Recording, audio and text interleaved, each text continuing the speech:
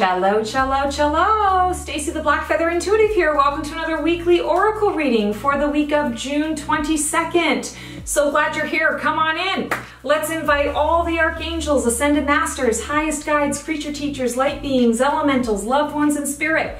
Come on into this space to give us the clarity and guidance we need to really move forward in the direction of our dreams this week.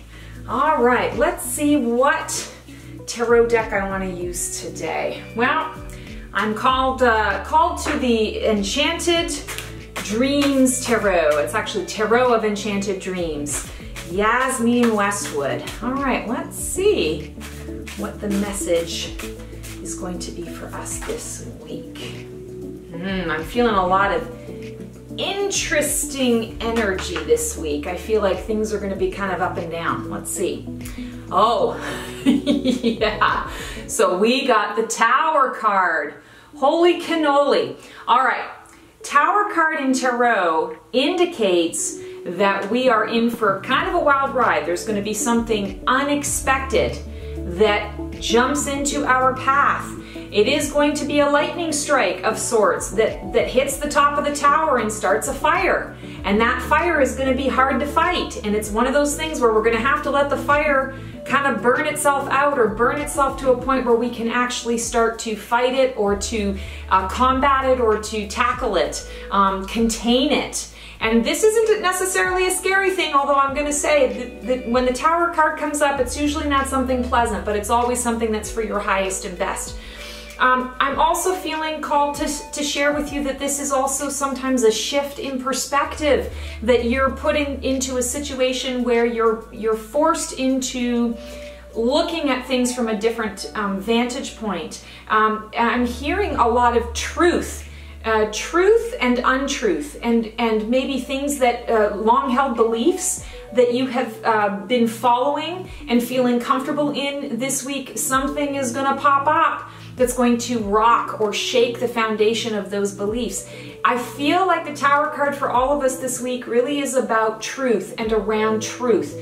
Truths in our own lives, individual lives, but also truths on a, a grander scale. And I feel that this Tower is really going to be bringing out a lot of mm, disruption, a little bit of chaos. Let me just um, preface this right now by saying we can all get through this chaos, no problem. It's not about jumping into the fear, freaking, freaking out, uh, uh, being uh, triggered by that fear. It's more about stepping back and observing how things are playing out. Oftentimes with the tower card, um, you know, if we if we use that analogy of the tower is on fire, sometimes all you can do is sit and watch it burn until you can get to a point where you can actually start to do something about it. And sometimes that's hard to do, but if you step into a space of observing what is happening, don't worry about the why so much right now. Just observe what is going on around you. You may have some insights and some epiphanies around it. You may not. Um, there may be that fear of loss. There may be that, oh boy, you know, wait a second, you know, I have all of my pictures from 1972 in the house and it's burning, you know, and there's that, oh, what am I losing? What am I, what am I, you know, what can I not access or attain um, that I want to, to keep with me, that I'm attached to? What I'm hearing with this is observe, observe without emotion as much as you can. Be detached from the situation and it will go faster, it will go smoother.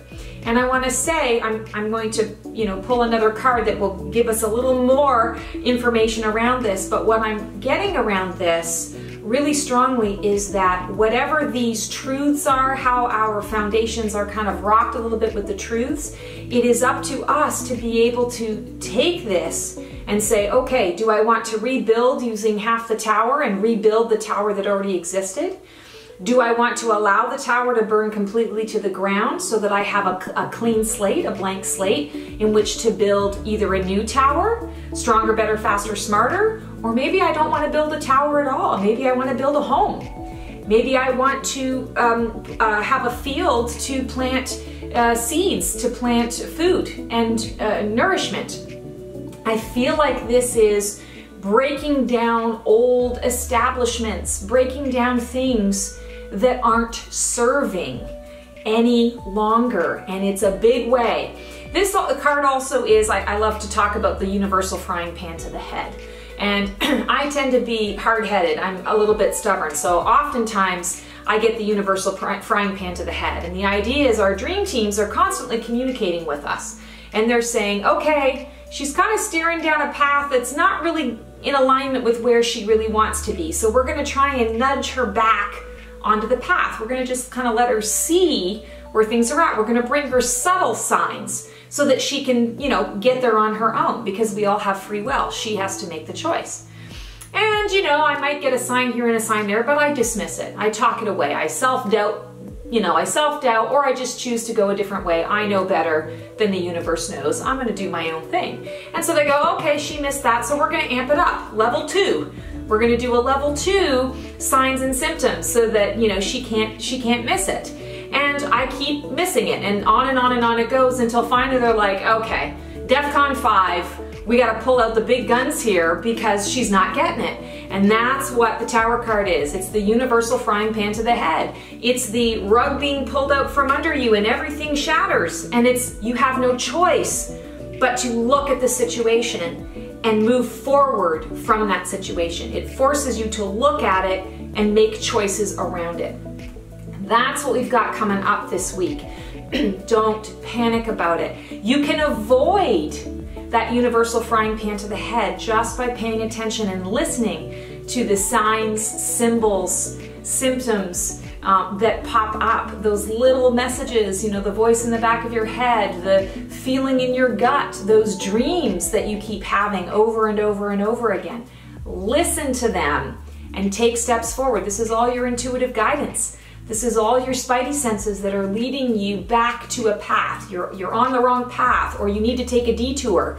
Um, yeah, there's something coming on the path that you don't, you know, you want to avoid. You don't want to be on it while that's happening. So listen to that inner guidance because it may help you to avoid something that is, is popping up here um, that is uh, big and is going to, you know, clean the slate. Um, so it's all about perspective. How are you going to see what happens? How are you going to see, choose to see that truth? And what are you going to do? How are you going to use that moving forward to create something that works better for you?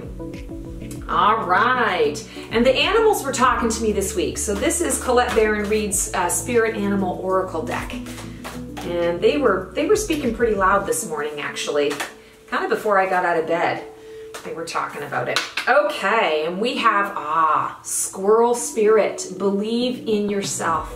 And I'm feeling like this is the perfect card to go along with the message of the tower this week. The perfect card.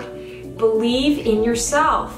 Nothing is happening around you that you're not going to be able to um, get through and thrive from. Nothing at all. Believe in yourself, believe in your ability to do things if whatever happens with this tower card in your life sets you what you what you see as set you back um, from reaching your goal don't panic about it. Believe in yourself. Know that you are still going to get where it is that you need to be.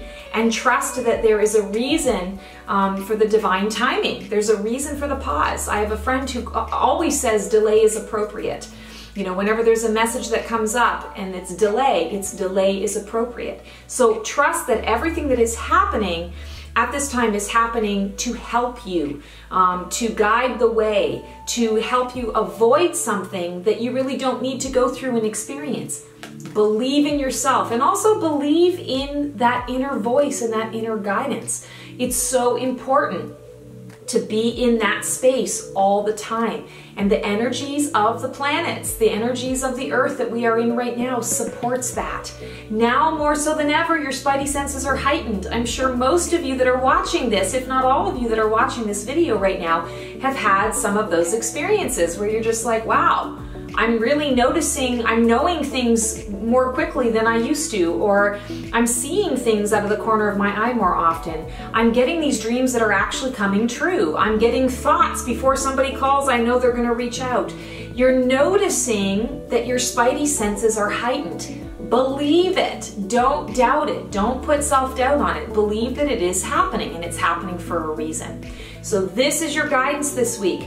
No matter what is coming around you, no matter what perspectives um, you're stepping into to, to shift into or to be, you know, kind of in a situation where you have no choice but to face those choices, believe in your ability to make the right choices and the right call so that you can move forward confidently and you're going to be able to, to not only survive from this but thrive and perhaps build something new, something even better uh, than what existed before. When we're talking about truth, you always want to believe in your own truth, what resonates for you. And maybe that means something that is connected to an old limiting belief has to come down in order for you to step into something that is more in alignment with your truth and what you believe about yourself and what you believe about your life and how that is shaping up for you.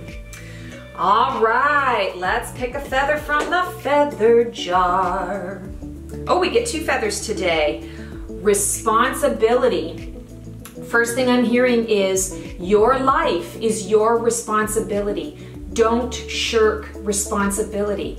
Again, believe in yourself. It's your responsibility to believe in you. It's not anyone else's responsibility to believe in you. So if you've got naysayers, you've got people who are, you know, talking around it or you're you're making suggestions about, you know, a way that you're moving forward and you've got naysayers around you, it's your responsibility to discern whether you want to listen to them and their truth or their version of it, or whether you want to listen to your own. So I feel like this is responsibility around your own life and your own truth. And then we have, oh, we pulled the air card. So the realm of the mind, the realm of thoughts, mental energy, spiritual intelligence is what I'm hearing. So while you are taking responsibility for your life, and moving forward in that vein, discovering truth, look at the white feather, purity, the purity of truth. You're doing this from a spiritually intelligent space. Air is the realm of the mind, and our mind up here is floating off in the clouds, right? It's the top of our head, it's where our crown chakra sits, um, which is our connection to source. So it's spiritual intelligence. Use your spiritual senses to make your decisions this week rather than your uh, monkey mind it's the spiritual senses, that crown chakra connection. All right, guys, thanks so much for tuning into the reading this week. Lots of um, very unique messages this month um, that I'm noticing. Really interesting to see how this is all going to pan out this week.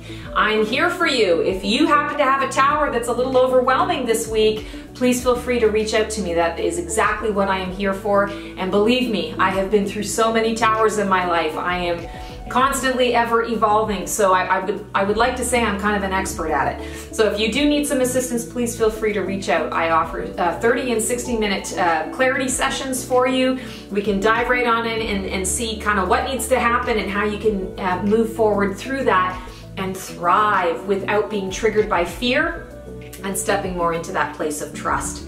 Um, if you like what you see here, please feel free to like, subscribe, and click the bell on my YouTube channel. Also, you can check out my Facebook page, The Black Feather Intuitive. And as always, I have my website, theblackfeatherintuitive.com. That's where you can book all of your sessions. Actually, you can book all of your sessions no matter where you go on my social media. But the website has all sorts of interesting goodies on there, lots of videos on how I work, um, freebies on there, meditations, uh, different blog articles I've written to give you a lot of information about all sorts of things. So if you're uh, looking to connect, that's a great way to do it. Would love to, um, to make that connection with you guys and help you out in any way I can. Thanks so much, take care, and have an amazing, amazing week. Bye.